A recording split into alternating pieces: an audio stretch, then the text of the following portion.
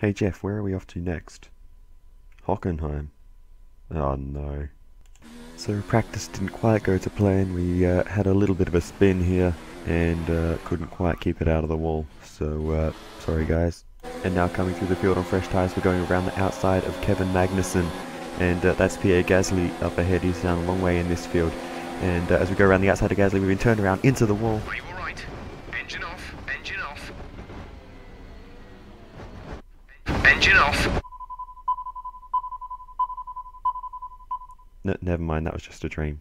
That didn't happen. I've had a chat with Carl about the new parts, and we're happy that they've been integrated into the car okay. With any luck, you'll be able to feel the improvement, so give them a try. Hello everyone and welcome back to my F1 2019 career mode here today for the uh, German Grand Prix at the Hockenheim Ring and we've been given an objective over the next two races to finish fourth in qualifying so that is uh, going to be a very difficult task I think given that uh, Hockenheim uh, is not my strongest track and I, I really don't think Hungary uh, will suit this car at all so we'll give it a try, but uh, I I don't see I don't see that being very likely. But uh, anyway, we have an upgrade or sorry an update to the R&D, and what stands out on that chart is that Renault have done pretty much nothing since France, so uh, they are falling back. towards Toro Rosso, Alfa Romeo and Williams who have made some really good upgrades uh, over the past uh, few races. We're still fifth in uh, the overall uh, standings, sort of battling away for uh, best of the rest with Haas. But uh, in general, Haas haven't really shown up, and it's the McLarens that are pushing pushing us, if anything, out of the midfield teams. But really, we're almost up with Red Bull. Red Bull are really underperforming and uh, on occasion are struggling to beat the McLarens and the and uh, myself and my teammates. So uh, we'll continue our fight with them today, hopefully. But uh, we've got uh, the upgrade to the chassis side weight reduction, so that will help us uh, around all of the corners, and well, in just about every way. acceleration, braking, it should just be an all-round, slightly better car. Our aero is still very good fifth best uh, to Renault of uh, all teams. So uh, I'm not sure. They must be uh, losing a lot uh, on the chassis uh, and engine side. But Ferrari have jumped up to second on the engine side. They've been working hard in that department. But let's see how all that plays out in practice. Welcome to a wet Germany for today's practice session here at the world famous Hockenheim Ring. This four and a half kilometre track is steeped in history and has been the scene of many special races over the years. We're expecting the session to start within the next few minutes. And I tell you what, Anthony Davidson, I think we're going to have some fairly anxious drivers in the cars today as the conditions have not been kind at all for today's session. Well, sat in the garage, maybe, I suppose. I mean, you'd always rather a nice dry circuit to run on. But as soon as you venture out onto the track, then any lingering nerves get left behind. The moment you start to become anxious in these cars, you tend to tighten up and become too digital in your inputs. This can not only cost you lap time, but also, if you're unlucky, send you on a one-way trip to the wall.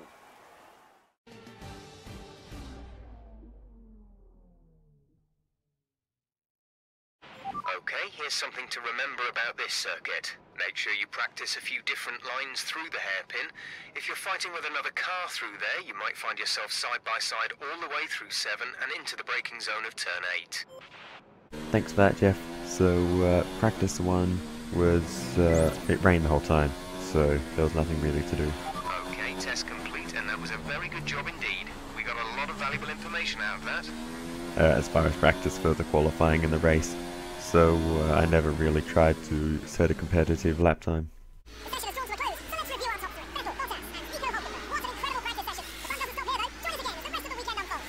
And as you can see uh, on the results here, we are down in uh, 19th, only ahead of uh, the Williams of George Russell. So uh, we have some serious pace to find, and uh, hopefully that comes back in the dry. But uh, like I said, I didn't really try too hard to, to set that competitive lap. It's time to remind ourselves of our top three.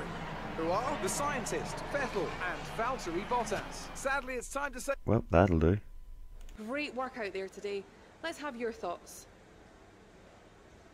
You really put a lot of effort into practice today. Are you testing new components?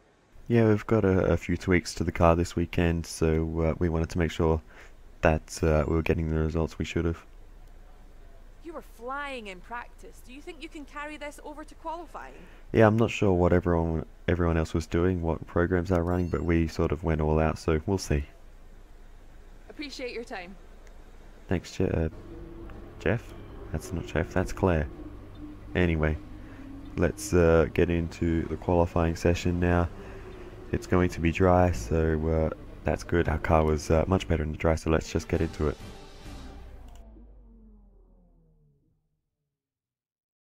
Welcome back to qualifying, where we're waiting for the lights to turn green in the pit lane to signify the start of the session here at the Hockenheim Ring for this weekend's German Grand Prix.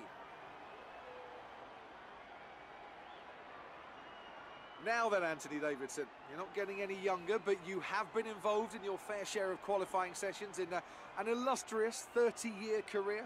How do you deal with the pressure when you have that one chance to deliver a perfect lap?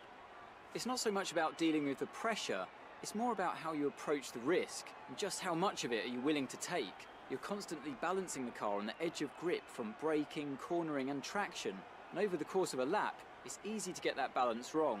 And that's why achieving the perfect lap is almost impossible. As you say, I've been doing this 30 years now, and it never gets any easier.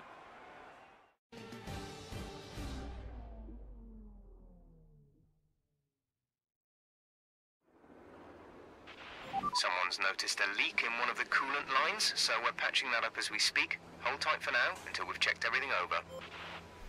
Alright, thanks. Um, you couldn't have noticed that in the last uh, couple of hours and fixed it then, could you? Like, I mean, that's, uh, anyway. Um, we just fast forward through that. We'll lose uh, a round in qualifying most likely, but it probably won't make a huge difference. Getting through Q1 is uh, mostly a formality at this point, so long as we get a lap in without traffic. So uh, let's go. So onto our lap, and uh, coming uh, across the line, we set uh, a pretty decent lap, and uh, I was going on to set another one. immediately cut the corner, but uh, thankfully uh, the lap we set we got through uh, in P13 so only just getting through really. But Daniel Ricciardo, Danny Kvyat, Robert Kubica, Kevin Magnussen and Antonio Giovinazzi knocked out in this one.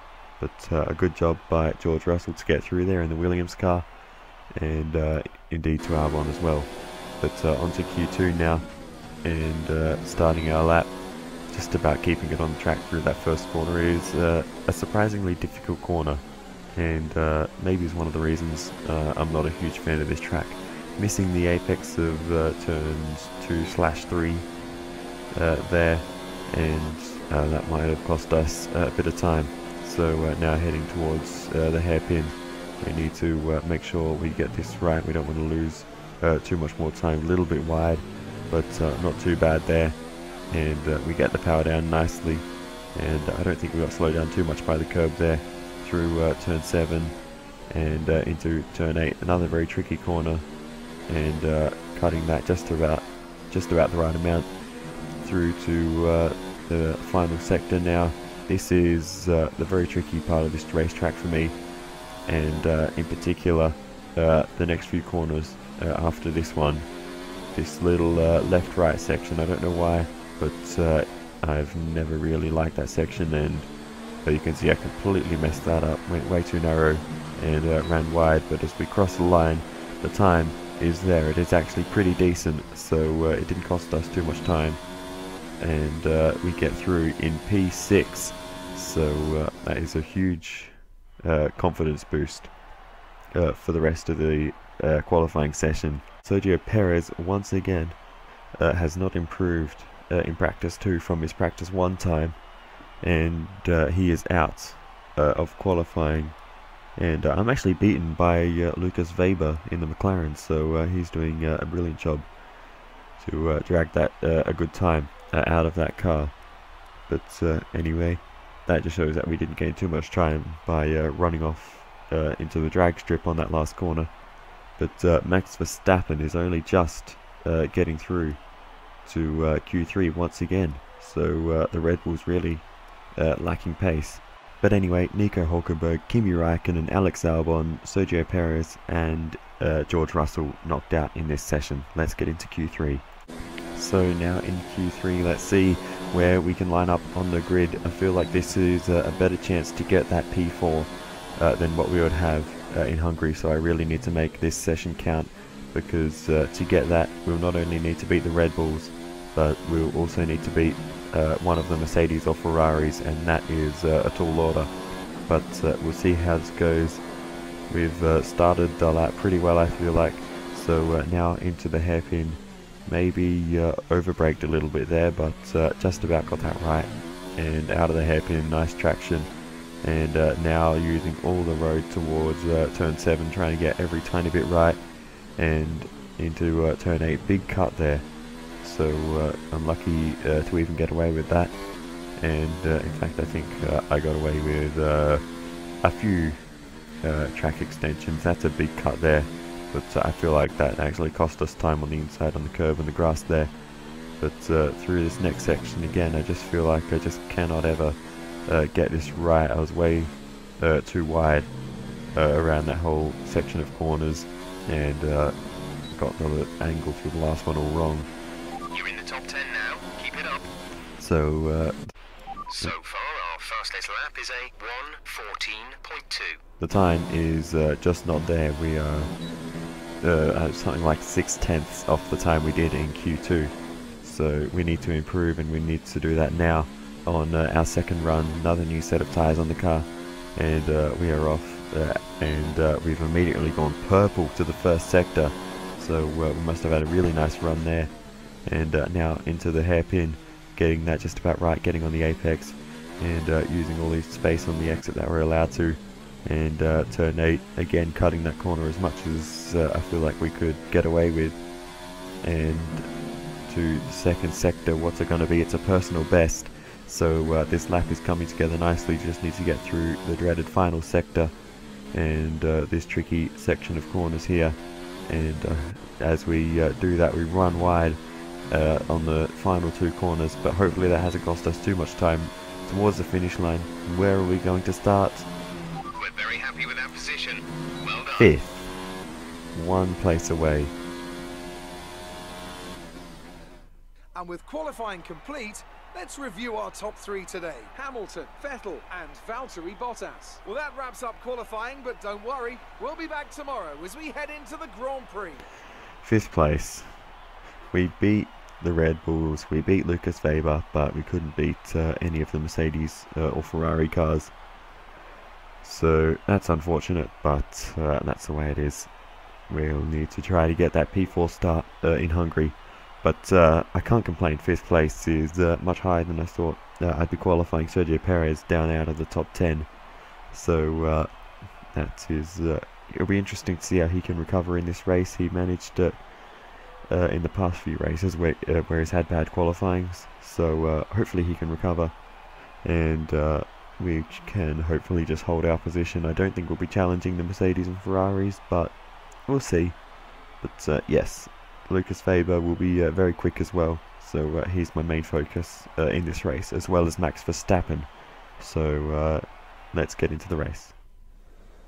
Amazing performance out there. I'm sure you're pretty happy with that. It's been a great qualifying session for you. Are you going to carry that momentum into the race? Yeah, I hope so. We've uh, qualified uh, more or less uh, as high as we possibly could, so hopefully we can hold it. Are you hoping to have your reliability issues sorted out before qualifying? Qualifying's finished. Um, uh, uh, are you okay? Qualify that that was qualifying that we just had. Um. That, that's awkward. Well, thanks anyway. Okay. Well done. Very solid results. You're looking good for the race. Alright, that was weird, but uh, anyway. Between uh, qualifying and the race, normally I don't do R&D, but uh, I think I put uh, one of the uh, quality control uh, upgrades on the chassis side. So that will be on the car instant. Oh, not really on the car, on the factory uh, instantly. And uh, that will uh, be that should reduce the chance of uh, upgrades failing uh, in the near future. So we need to do a lot more work on the chassis side to get it competitive with the big three. So anyway, Let's get into the race.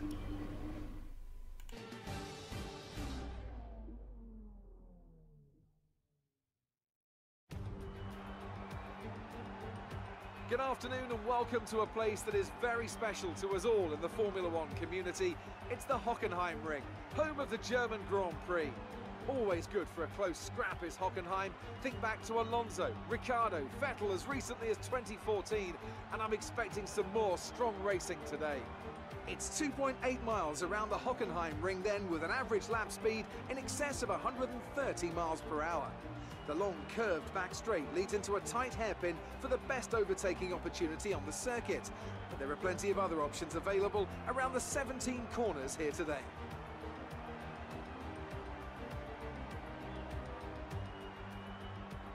Alongside me once again for coverage of today's race, it's none other than the great Anthony Davidson. Let's talk about the scientist. As with all the drivers at this level, they have a lot of ambition. But Formula One's a daunting step up from any other series, so expectations are high right from the start. And this is something that has ended the career of many a young driver, as that leap up to Formula One proves to be too much. But luckily in this case, I'd say they're doing a good solid job, and the risk the team took in signing them is definitely starting to pay off.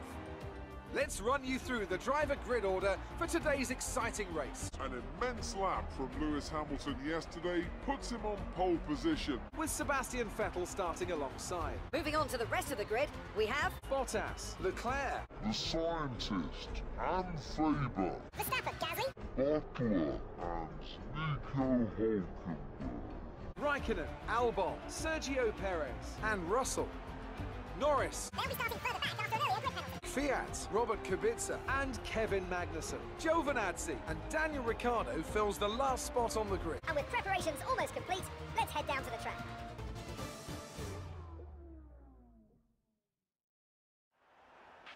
This is our engine supplier's home Grand Prix. Let's give them a race worth watching. Thanks, Jeff. This is indeed the Mercedes Benz Grosser Preis von Deutschland. I don't know if that's quite how you pronounce it. My German is non existent. But uh, anyway, we're going to go with that for now. I had a, a brief look at the strategy and uh, I, looked at the hard tyres, but uh, as usual, they were not really an option. They're just they're just too slow, and uh, I feel like they're pretty much useless in this game. I used them once in Spain, and uh, even then, I feel like that was the wrong choice. But uh, anyway, let's don't worry about that. We're not going to be using the hard tires ever, and uh, we get underway for the formation lap. Get these softs. Launch map is good, but we need to learn the gears, so go into each one when you can. We're going to need some work on the brakes, so put some energy into them and warm the tyres as well, please. get these soft tires up to temperature and uh, we need to get a good start here because we've got uh, some fast cars, Weber and the Red Bulls uh, right behind us so we're going to need to get uh, the best start we have all season uh, to try to stay ahead of them uh, throughout this race. So let's go. Keep an eye on the lights. The start sequence will begin as soon as the grid is formed. Be ready with the clutch. thanks Jeff. Alright we now go to three four five red lights. And the lights are out and we are underway for the German Grand Prix. And uh, it is an okay start. Sebastian Vettel uh, is uh, under attack from Bottas around the outside into the first corner and uh, Bottas might just get that. We'll see how that plays out over the next few corners. We've held our position. Bottas and Vettel still side by side uh, through turns 2, 3 and 4 here. And uh, they will uh, continue to battle away uh, into the hairpin. But uh, for now it looks like Sebastian Vettel has held the position. Bottas to the inside and now to the outside of Sebastian Vettel. Where can we go in all this? We're going to have a little look to the outside of Leclerc but uh, this car does not have the grip that those first uh, four cars in front of us do and uh, we, we ran a bit wide there. But uh, meanwhile behind us Lukas Weber has also held his starting position. We go down the inside of Leclerc as he's held up and uh, we went very deep there. And uh, I'm overestimating uh, the grip that this car has following the much faster cars but we do make that move on Leclerc. Here's the, the onboard uh, from Charles Leclerc. We just uh, sent it to the inside and uh, we did get it stopped, but uh, only just. Leclerc did well to uh, leave us the space there uh, down the inside, and uh, we managed to uh, hold that position. But Vettel and Bottas are still battling side by side up ahead of us, and Bottas is on the inside, and he might just get that done there. But just when you think it's over, um, we lose that spot.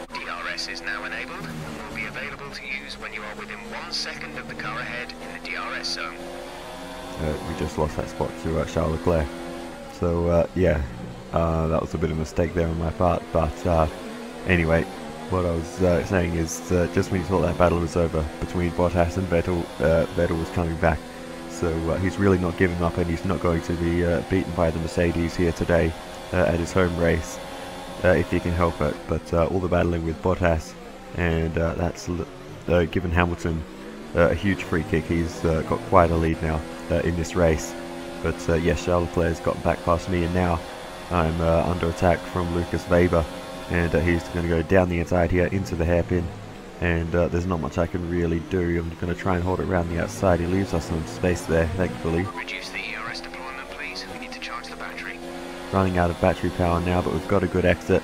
And uh, around the outside turn 7, we're almost banging wheels there, down the inside into turn 8. And uh, we're side by side.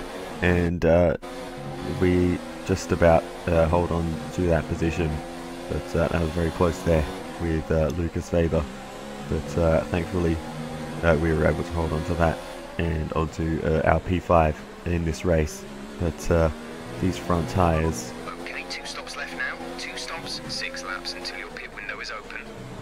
Are absolutely melting, and I was checking to see when our pit window was because I'm I'm not enjoying these these tyres at all. And you can see it, we're defending from Weber, and Gasly's hit him, and Gasly's around and uh, he goes spinning out of this race and uh, out of contention.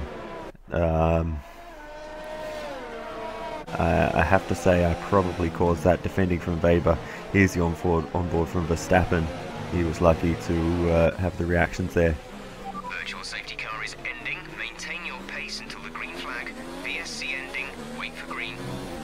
And uh, that caused a virtual safety car briefly. But uh, we get back underway.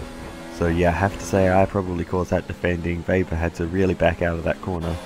But at the same time, I don't know what Gasly was doing. But uh, Weber down the inside again into the hairpin. And uh, this time we can't fight back. Radio, maybe? No? Okay, no radio. But uh, yeah, we couldn't fight back that time. And uh, Weber's got us. So uh, these tyres are uh, they're really falling off now. And uh, you can see just when I'm behind Weber, there's just no grip compared to what Weber's got.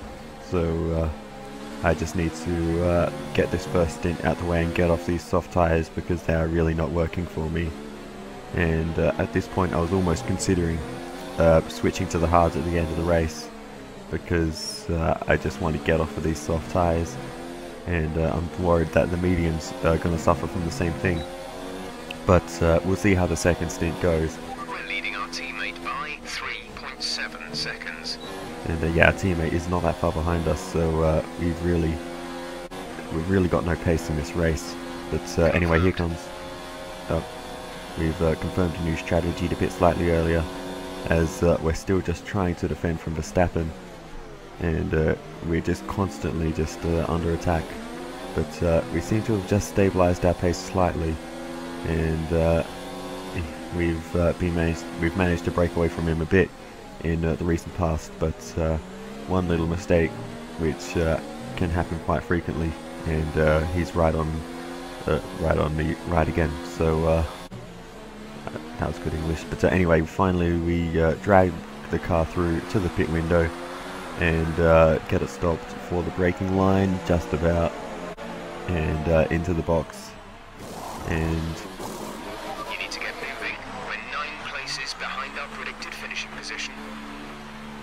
because we're in the pit lane, Jeff.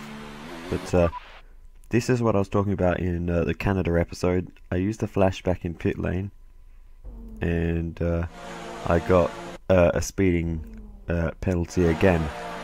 But uh, I this time I decided to use another flashback to the same point, and it it didn't give me the penalty the second time.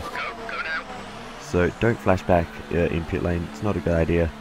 But uh, I did that to try and get rid of that. We'll be doing one more stop today. One stop left in our strategy.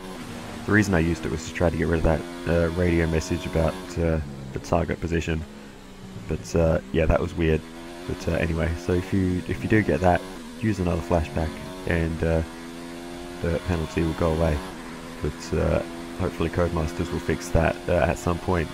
But uh, anyway, as we uh, on our outlap now, we need to set some purple sectors hopefully, and get uh, get the undercut on Weber because uh, he was ahead of us, Let's use some of this energy. Increase the ERS deployment. and uh, that would certainly help if we've got uh, battery power to play with. But uh, we catch up to the queue of cars. The first one in that queue is Danny Rick. So let's go to the inside, down the inside into the first corner, completely missing uh, the exit. But uh, we get that move done anyway. Right,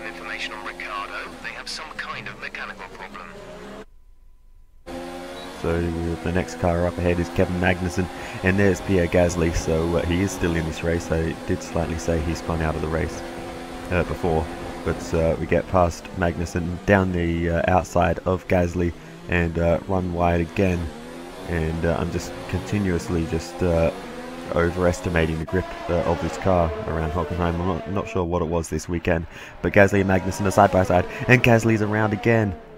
What is going on with him in this race? That is the second spin for Pierre Gasly, and uh, he is just not having a good time uh, around the track uh, today. Magnussen left a space on the inside, and uh, it looked like Gasly just uh, misjudged it slightly. Let's have a look. Or that's a bit hard to judge that one.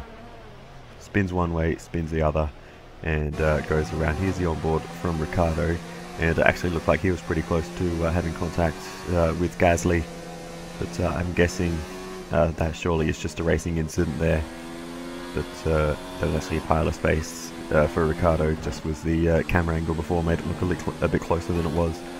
But anyway, as we are dealing with all that, Lukas Weber has come out of pits in front of us, and we need to uh, try to catch him. We've got the DRS, let's see what we can do into the hairpin. Can we uh, make a last minute move? Not quite, but uh, you can see the grip we have now on the mediums compared to him. We have uh, a lot more confidence uh, on the mediums than the softs, and we can uh, try to make a move anytime soon. So now on the next lap, we go to the outside, into the hairpin, down the outside, and hopefully we'll be able to pull this off. But we run a little bit wide, and Weber is uh, back through on the inside there.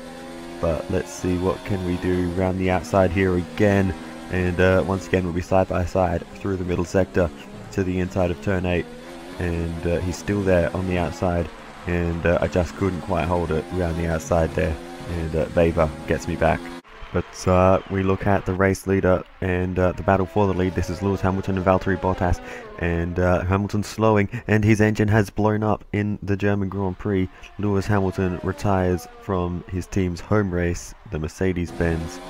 Has uh, given up, and he will not finish this race. It was it was Bottas in Austria, and uh, now it's Hamilton's turn to have a mechanical failure. But uh, meanwhile, we're still battling away with Lucas Faber. We go down the outside into the hairpin once again, and uh, this time we just about hold it round the outside, and we're going to be side by side into turn 7 once again for the third time this race, side by side through turn 7 with Lucas Faber down the inside into turn 8, and uh, he still holds it round the outside.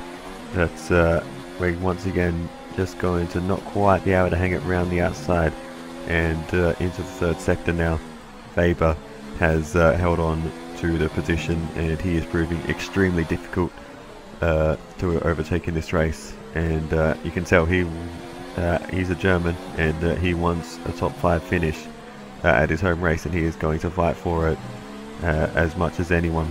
So we need to uh, be a bit more creative if we uh, want to overtake him. And uh, Gap to teammate behind is 11.4 seconds. uh, on that topic, uh, Max Verstappen is uh, also catching up, and uh, he'll be uh, he'll be wanting to uh, get uh, ahead ahead of us to try to chase down the Ferraris and Mercedes because he had a dreadful qualifying, and he'll be looking to make up for that. So we're looking in two directions now. Verstappen is very close behind as we now look to the outside of Weber again, and this time we try for a little bit of a switchback, but couldn't quite get the drive there. Don't make me put that clip in again. Alright, Bottas is out in front. Bottas is out in front. Bottas, Bottas, Bottas, Bottas, Bottas is out in front. Bottas is out in front. Bottas is out in front. Bottas, Bottas, Bottas, Bottas, Bottas is out in front. literally every time Jeff says that, I have to put that clip in. It's just a rule. Now we go down the inside of Weber into turn 8, run a little bit wide, and it's going to get us back round the outside. And uh, I wasn't really sure how much space he was going to leave, so I had to back out of it. And uh, now Verstappen's right behind me. But uh, we are very close to Weber once again into the hairpin. And uh, he was defending, and we were just in an awkward position, couldn't really get down the inside from where we were. So uh, we're going to try and go for uh, the better exit. Couldn't quite get to the inside of turn 7, but are we going to send it into turn 8? Not quite, but uh, that was very close to uh, having a big dive there, but it was just not quite a, slow enough corner to try to go for that uh, type of move. And uh, we are really uh, starting to hold up for Verstappen, but uh, we run, run, we run wide uh, through the last couple of corners, and Verstappen gets through. So hopefully, maybe Verstappen can put pressure on Weber. But we look into the inside of Verstappen, and we go down the inside, push him off the track just about there. But we get the position back from Verstappen. So uh, that, uh, and then we run wide, and he gets through again. So uh, I really need to get that last sector sorted because uh, a few mistakes there have uh, cost uh, positions to to Leclerc and now to Verstappen twice. So I need to get that sorted. But as you can see here, Verstappen has just gotten away from me a bit, and Weber is miles up the road now. So I've had a dodgy few laps, and I'm really starting to lose pace. So uh, the earlier pit stop maybe uh, is costing me some tyre performance now. But uh, we're still faster than uh, the next car behind, which is uh, uh, Nico Hulkenberg in the Haas at this point, trying to recover from a bad start or a bad qualifying at his home race as well. There's a lot of Germans in the field in this season, three of them. Anyway, let's focus back on our race because Verstappen and Weber have uh, started battling in front of me, and that will uh, hopefully invite me uh, back in uh, to this battle, and hopefully we'll be able to uh, jump both of them uh, if they're not paying attention. But Verstappen has woken up in this race. He's found a lot of speed, so it's going to be a tough order for either myself or Weber to beat him in this race. And uh, you can see Verstappen up there is uh, piling the pressure on Weber. So uh, we move on, and uh, it is Weber that we catch up to. Verstappen is uh, up the road a bit, so he has uh, managed to overtake Weber, and Weber, in fact, has lost DRS to him. So maybe the tyre wear on that McLaren probably not as good as the Red Bulls, and that might be why Verstappen is coming strong the further we get into the race. But anyway, we are right behind Weber to the outside towards uh, turn 8, but again, just not quite wanting to make a move there. So we just have to sit behind and wait for uh, another opportunity. But uh, Weber is coming back towards us now. Maybe he's turned his engine down. But uh, we'll see. We go to the outside once again into the hairpin. But uh, we run in a little bit deep, try to get it stopped. And uh, that's not even the hairpin. That was uh, turn 2. But we get a good switchback onto the Parabolica uh, corner, and uh, we are through uh, on Lukas Weber there. So uh, Okay, I'm keeping an eye on our tyre condition here, and I don't think we can rely on them much longer. we've been uh, flying through this race, and uh, it's almost time this lap, give us the best in lap you can. uh, for the second pit stop. We've dropped Weber, so uh, he's not going to be uh, too much of a threat to us, hopefully, uh, throughout the rest of this race. And uh, if that's the case, it might might be a bit of a boring one to the end, but uh, I'm not going to complain about that too much. It has been uh, an exciting start, at, at least, uh, to this race. So anyway, let's uh, get into the pit lane, get uh, some fresh tyres on. These ones are done; they've uh, done their job. New tyres on. Exit, exit now. That looked very quick, 2.1 seconds. So uh, let's uh, get out of the pit lane. We've got Look after these tyres now. We want to finish the race on this compound. We've got a pile of clean air. So let's just get on with the job here and get some good laps in. So we move on now and uh, past the pit lane once again. Weber is in pits on this lap. So can we jump him? The battery is low on energy. Reduce ERS deployment. and we are ahead of Lukas Weber. That was him on the right hand side in pits there. Meanwhile, Pierre Gasly is still stuck behind Kevin Magnussen, and that's a Williams car uh, up the road there. So uh, he won't be looking uh, at scoring points in this race, uh, will Pierre Gasly. But uh, at the same time, we are catching up uh, to the back markers in this race, the Renaults uh, and Pierre Gasly himself. So that is uh, pretty much the uh, the only thing uh, left to deal with in this race, unless Weber can put up a challenge in this last stint, will be the backmarker cars. So eventually we catch up to the first of them, which is Daniel Ricciardo, and he almost uh, blocks us, but uh, moves out of the way as we go around the outside. But uh, that was a bit sketchy. Next up is Pierre Gasly, and uh, he's dropped off the back of Magnussen uh, and the Williams car. And uh, we've gotten around the outside of him. And I think Ricciardo actually got him at the same time. By Ricciardo I mean Weber.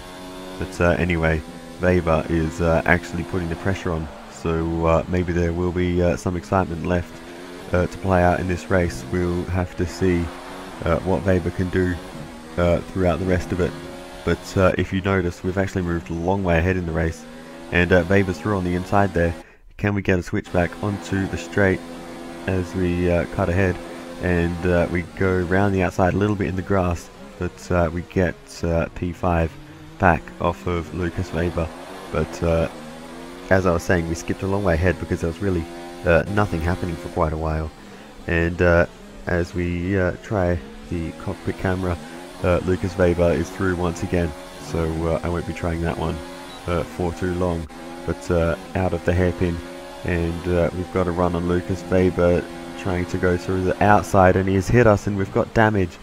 And that is uh, that was an ambitious move to go around the outside. We send one to the inside. There we uh, need to be ahead of him now but uh, he didn't need to push us and uh, break the front Be wing there the front wing. You've taken some minor damage. and uh, that damage uh, will hurt us for the rest of the race. So we'll need to do some uh, super aggressive defending. Uh, if we want to hold on to P5 now, the damage is going to slow us down massively. But uh, I can't pit for a new front wing or lose too much time, and it, it just won't be worth it. So we just got to deal with this damage for now, and uh, just hope that we can hold off Lukas Weber with uh, a limping car uh, for the rest of the race. But uh, we move on to the Parabolica. He's through on the outside, but we absolutely send a completely block off the line and uh, get the position back. And uh, that's the aggressive sort of defending that I think we'll need if we want to hold this position. There's not a lot of laps left, so there's not a lot of opportunities. So we come back at him uh, into the hairpin once again. He's uh, getting through uh, with the DRS uh, on the start straight and uh, the second straight, but uh, whoever has DRS through Parabolica seems to have the advantage heading into the hairpin. So it was me on that occasion, and it's Weber on this occasion, but thankfully we were able to, to cover him off on the way into the corner, and he couldn't make a move there, and uh, actually gets quite a bad exit, and we're safe for another lap. But uh, next lap he's coming back at us once again down the outside into the hairpin. But uh, once again we're just going to completely block off the line that he wants to use and uh, cover him off. And uh, now with uh, only a couple laps left in the race we uh, run wide through the final corner and Weber's through. So we're going to need to get these first couple of corners absolutely perfect to keep DRS almost centre into the first corner, trying to take as much of uh, the inside curve there as possible. And uh, hopefully we are close enough to get the DRS and uh, make the move on through Parabolica into the hairpin. But uh, he actually got quite a good exit there, so this is going to be a, need to be a big dive if we want to get it done. You can see how far ahead he is. We're gaining, but uh, it won't be enough by the time we get to the braking zone. But we go for it anyway. We send it down the inside. A lot of contact with Weber there, but we do get the move done. And Good. Uh, Jeff has uh, no issues with that move. So uh, let's just uh, ignore that. That was uh, definitely uh, too far This is your final lap. Final lap of the race. to the uh, aggressive uh, side of the scale, but uh, we got away with it. And uh, just quickly to my point that I made uh, at the start of the video about Renault, they are absolutely nowhere in this race, so uh, they're really feeling the effects of uh, not upgrading the car too much in uh, the last few finishing positions uh, of this race. Uh, Ricciardo and Magnussen not having a good day, but I have a feeling we may have damaged Lukas Weber's car with our almighty dive bomb because around this last lap he's really not been putting the pressure on and he might be limping home as well. So that is uh, I guess a bit of a, a relief for us and we can uh, finish off the race now without uh, too much pressure from behind. We've uh, had to be very aggressive throughout this race, but uh, as we come around the final corner, we are going to come home for a fifth position in the German Grand Prix. Nice work. You did well today. I think the boss will be happy with that one. Yeah, they'll be happy as long as front wings aren't too expensive for this team. Take the win for Ferrari today. What do you think it was, Ant, that gave them the edge over the competition today? Well, this was a real team victory. They put together a solid strategy today that appeared well suited to the conditions out on track. The driver did everything that was expected of them in the moment to really execute the team's plan to perfection, a shining example of how F1 really is a team sport. Here come our winners now. A thrilling race and a tremendous effort by Ferrari. Their history is well known, so it's no surprise to fans the world over to see them come out on top once again. So it's the Ferraris 1 and 3 in this race. Valtteri Bottas bringing home P2 for Mercedes at uh, the Mercedes home race, but uh, their race was undone when uh, Hamilton uh, had his DNF. No Mercedes 1-2 this time. It's Ferrari on top. So, let's review the driver's standings. It wasn't the best weekend for our championship leader, and their advantage at the top has been reduced. Some amazing talent out on the track today, but Anthony, who would you pick as your driver of the day? Is it It's me? got to be Lando Norris, Oh. hasn't it? Smooth, confident, and assured. I've got no doubt that he and his team are going to be over the moon with his performance today. Let's move on to the constructors. Ferrari take the lead at the top of the table. There was also a strong showing from the McLaren team today as they make their way up the standings. I'm equal parts exhausted and elated with this weekend of Formula One. Be sure to join us for the next one. I will, because uh, if I don't, I'll lose my drive. Alright, so that was uh, a pretty exciting race, and uh, Gasly looking at uh, that still eighth uh, in the championship, not able to uh, overtake Sergio Perez. Another bad race uh, for Pierre Gasly. So uh, I don't know, maybe Red Bull will be looking for another new driver, uh, as there were a few rounds ago. But uh, anyway, let's see what happens over the course of the next few races. But anyway, looking at the constructors, we're still third. Ferrari is actually in the lead of the constructors, so uh, they've been uh, doing playing the consistent game. Mercedes have uh, come on strong in the last few races, but uh, Ferrari uh, still just have the edge uh, at this point. and uh, that DNF from Hamilton made a big difference there.